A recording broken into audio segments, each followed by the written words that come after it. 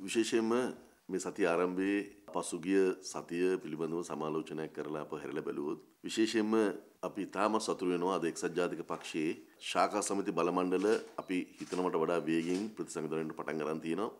අද වෙනකොට 132ක් බලමණ්ඩල අපේ ප්‍රතිසංවිධාන වෙලා තියෙනවා විශේෂයෙන්ම සැප්තැම්බර් මාසයේ මුල් සති දෙක ඇතුළත නියමිතව තියෙන අපේ සම්මේලනයේ ඉලක්ක කරගෙන. විශේෂයෙන්ම එක්සත් ජාතික පක්ෂයේ සම්මේලනය වෙනුවෙන් මේ පෙළ ගැහෙන එක්සත් ජාතික පක්ෂයේ බලමණ්ඩල දිහා බැලුවම මම දැන් පහුගිය සුමානේ ගත්තොත් සෙනසුරාදා ඉරිද ගත්තොත් උතුරුකොළ බාසර බල මණ්ඩලය වගේ බල මණ්ඩල රවි කරුණානායක මහත්මයාගේ මුණගත්තෙන් ඒ වගේම ඊ කඩුවෙල ආසන බල මණ්ඩලයේ විශාල ජන සහභාගීත්වයකින් යුතුව කොළඹ දිස්ත්‍රික්කයේ මුළු දීලා තිබුණා.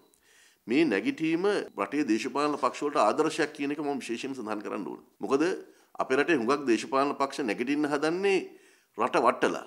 අපේ සමහර දේශපාලන පක්ෂ අපි පහුගිය කාල සීමාව දැක්කා IMF එකෙන් දෙන ණය සහන කොන්දේසි ඒ ඒ ඒ ණය සහනය ලැබෙන්නේ නැතුවාට සතුටෙන්. ඒක නවත්ත ගන්නේ කොහොමද කියලා වැඩ කරමින් ඉන්නේ. මොකද එහෙමුණුත් තමයි මේ දේශපාලන පක්ෂවල ඉස්සරහට එන්න පුළුවන්කම තියෙන්නේ. මේ රටේ ජනතාව වැටුනොත් මේ රටේ ජනතාව බිඳුවට වටුනොත් රටේ ජනතාවගේ ජීවිත අඩාල වුණොත් විශේෂම බැංකු පද්ධතිය කඩන් වැටෙනවා අරක වැටෙනවා මේක වැටෙනවා කිය කිය ජන ජීවිත අවුල් වෙන තරමට තමයි තමන්ගේ පක්ෂවල ශක්තිය වර්ධනය වෙන්නේ කියලා තමයි මේ දේශපාලන පක්ෂ පහුගිය කර කටයුතු කටයුතු කරමින් හිටියේ. ඒ නිසා විශේෂයෙන්ම එක්සත් ජාතික පක්ෂය අද මේ රටට ආදර්ශයක් දීලා තියෙනවා.